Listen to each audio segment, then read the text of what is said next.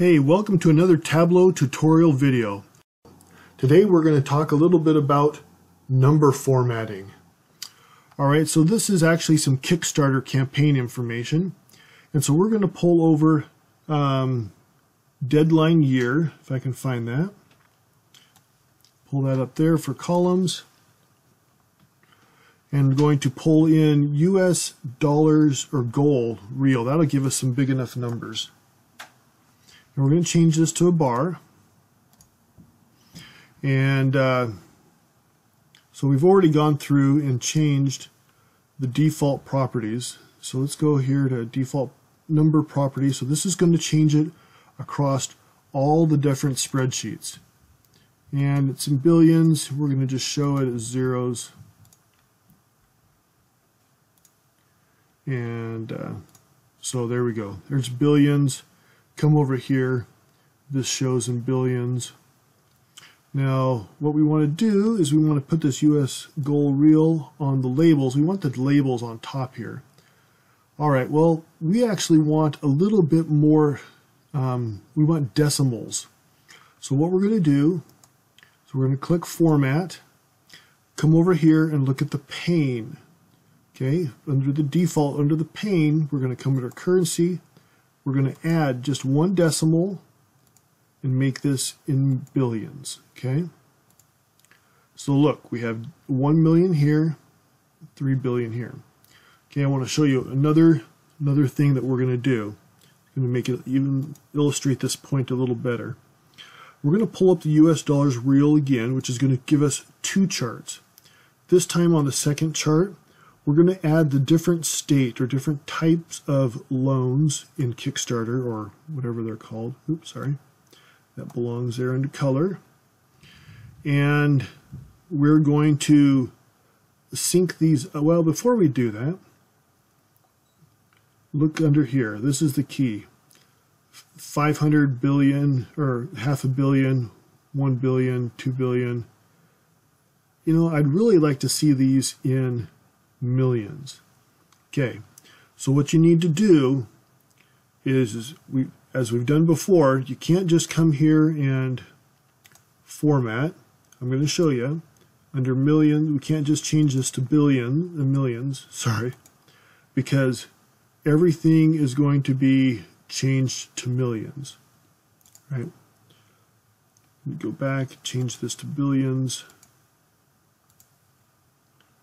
We're going to get this off the labels. We're not going to use that for the labels. You can see the tooltips. I want the tooltips to have be in millions. Here's the trick. Come down under here, goals real. I'm going to make it duplicate. Okay. What I usually like to do is edit it and maybe put what it's going to be in. I put millions.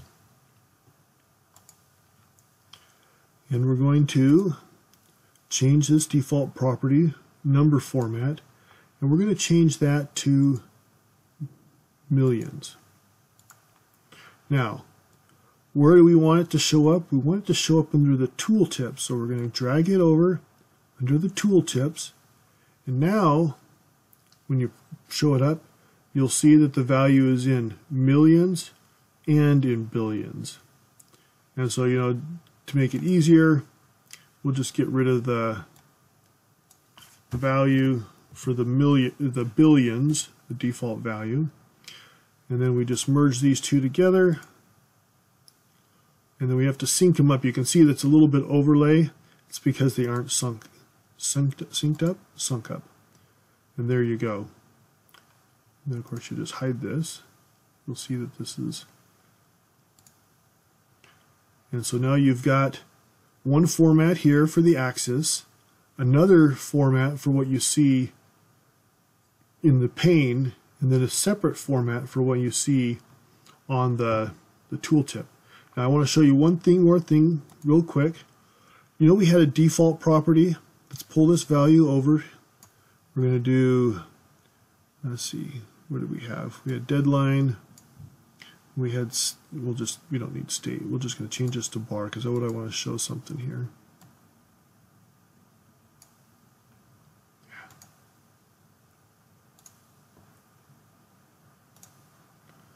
And then we had year was up there. All right, so this is the default. Now let's, if we can go back here and change the default properties for all the charts. If we want to change it just for this chart, for whatever reason, come under here, Format, and you'll see that it's Format for this field. And you can come over here and you can change the field. We'll just leave it as two decimals. And we'll let's change it in thousands for just this chart. Okay, that was the default. Right, so there you can see what the real value is. If you want to change the axis, got to do the same thing. Come here, can do um, let's do thousands. No, no thing, no decimals. All right. So you see, used dollars, USD, goal, real in thousands. It's still in billions here. This is using the default number format. This one is using just uh, the formatting assigned to this page here. So there you go. That's how you can assign three, at least three different number formats to one chart using the format tool on the sheet and creating the a duplicate record that has the right um, unit of measure assigned to it. As always, leave a comment, subscribe. Love to hear from you. Until next time, have a good one. If you found this video helpful, hit subscribe and the little bell to be notified when new videos are released.